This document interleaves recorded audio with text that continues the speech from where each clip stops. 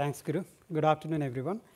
So uh, when Guru asked me, you know, talk about what are the challenges and, uh, and opportunities for SDN, so I thought, okay, let me just focus on what our customers are going through and how SDN could help our customer network transition. So the focus of this talk is about why SDN for realizing a convergence that our customers are really uh, moving towards, you know. So that is essentially focus of my uh, presentation. But before I start, I just wanted to introduce Ericsson. You know, many of you might know Ericsson. Some people think Ericsson is like a mobile handset vendor. Some people think Ericsson is a radio vendor.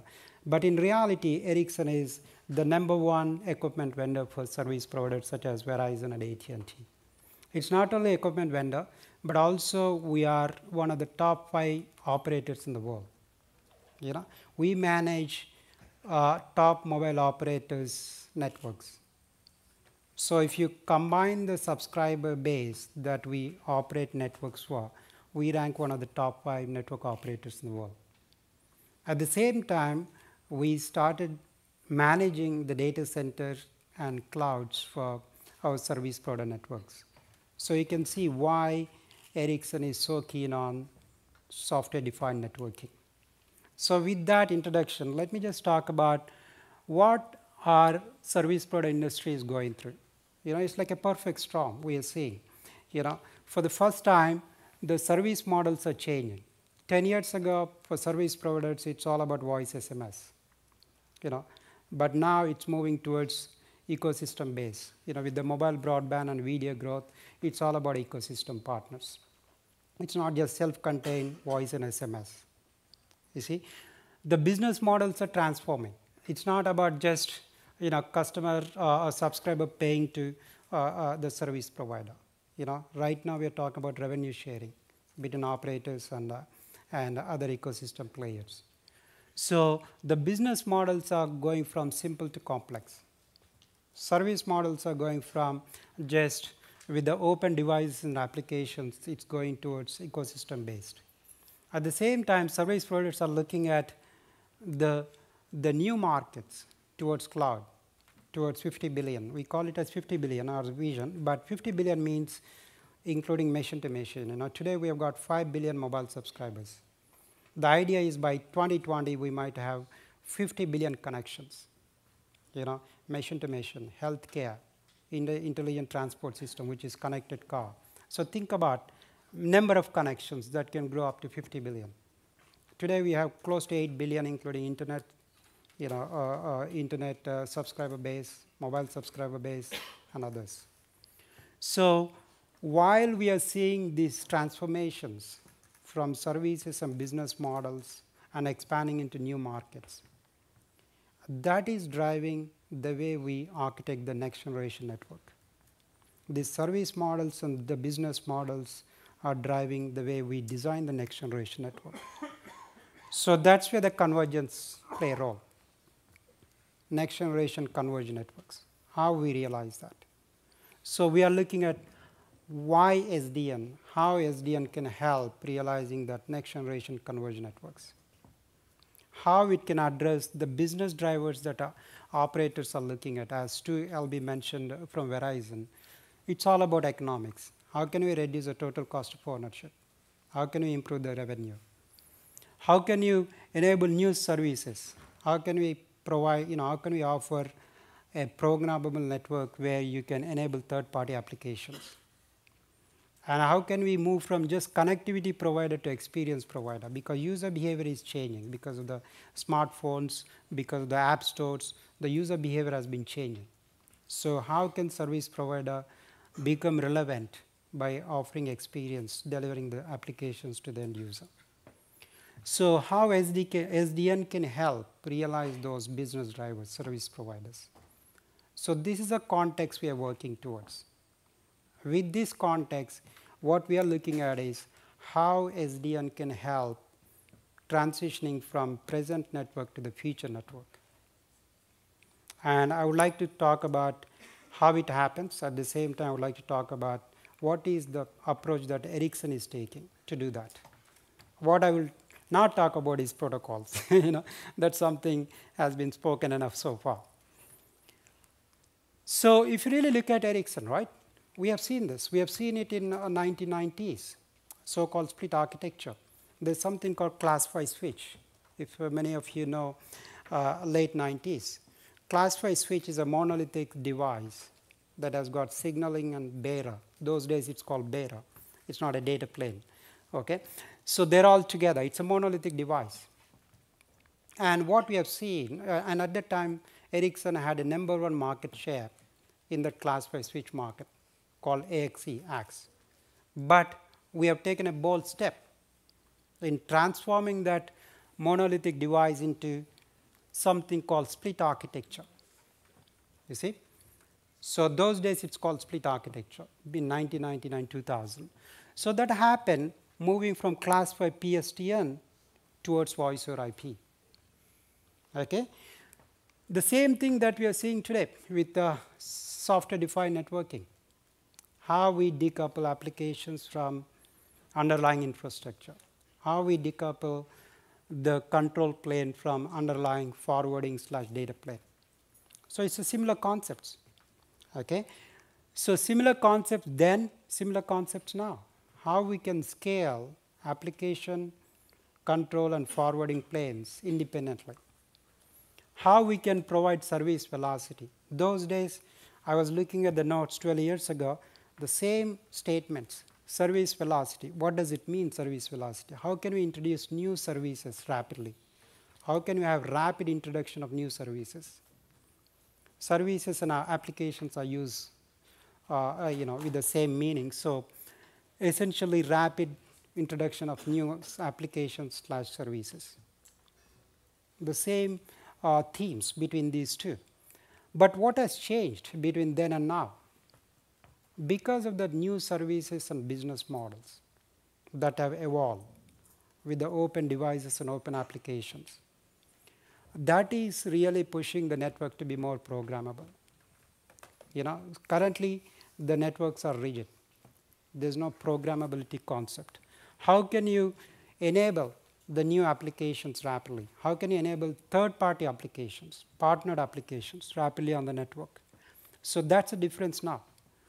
The second difference that we see now is a virtualization. What I mean by virtualization? Uh, between then in 99 and now, the operators built purpose-built or application-specific networks, overlay networks. One network for video, one network for data, one network for voice. I'll talk about what it means. But now with SDN, the idea is to talk, uh, you know, build a single network and virtualize it for multiple services. So that's the difference between then and now. So that's why Ericsson is serious about SDN because we have seen this. However, uh, we learned from the past one decade in terms of how market transitions happen, and we like to develop the feature with SDN for our customers. So with that, let's look at what it means, how the networks are evolving. Why SDN in that network transition? So as I mentioned earlier, in the past, the operators have built overlay networks. If you really look at operators network, you have got access, transport, control, and services. That's how you can categorize. Access being, you know, base stations, DSLAMs, and so on and so forth. Transport being, you know, packet or circuit transport, and control being, you know, uh, uh, David Warburg talking about provider-based control such as AAA, HSS, you know, policy, and so on and so forth. And services being applications. That's where you see voice applications, video applications. So if you look at this layered architecture, in the past, they, the service providers built application-specific networks. It's a vertical integration. Okay? And then now they are trying to look at how do we provide that convergence. So you must have heard about the term called fixed mobile convergence. What it means is essentially how can I have a single network for any type of access. So now they built a single IP network for wireless and wireline access. But on the control side, still they have different control mechanisms. Although they achieved a common control using IMS slash soft switch mechanism, but still they have got different ways of video delivery. There's something called DVB-H for mobile, something else for uh, MediaFlow for, uh, you know, in this case in the CDMA world uh, by Qualcomm, and IPTV for wireline and something else. But in the middle, we have got internet service providers such as Google. They are able to provide these applications seamless, irrespective of access type, you know, so between any device. So looking at this, operators are saying, okay, how can I move to the next transition, next convergence, so-called IT and network convergence. That's what it's known as in the industry. So what it means is that, okay, now that I realize a common network transport, how can I realize the control and services functions and virtualize them in a data center environment? So this is what the service providers are going through. So what is that SDN can do? What are the opportunities and challenges that SDN can address? Where can it address? So from our point of view, SDN challenges and opportunities lie within this transition. As Stu talked about, okay, it's not just uh, talking about target architecture, but how can we transition from today to the target architecture? So that's where we believe SDN has number of challenges and tremendous opportunities to solve number of issues transitioning from today's network to the future network. So let's look at what today's network is, you know, how simple or how complex it is. So if you look at it, if you look at it, you have the transport network, access aggregation, edge, backbone, you know, the simple packet transport. Then you have got the control network where the identity and policy and all sorts of control mechanisms, that's what uh, David Ward was talking about, provider-based controls, schemes. Then you've got applications. So the idea is that what is the impact of SDN? What are the challenges and opportunities that SDN has uh, in terms of decoupling, control and forwarding, providing the network programmability and virtualization at transport, control and services layer. And that can take us to simple converged network.